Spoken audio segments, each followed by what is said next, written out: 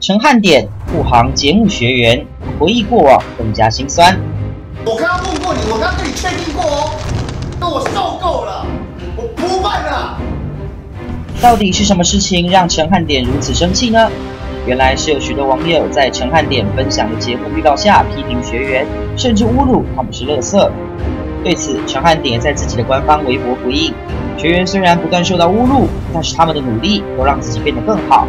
他也在文中回忆自己过去十年在康熙也像学员一样饱受批评，辛苦。学员在节目上的认真付出，更使陈汉典回忆起自己出道时的种种心酸血泪，也难怪陈汉典会如此愤怒替学员护航了。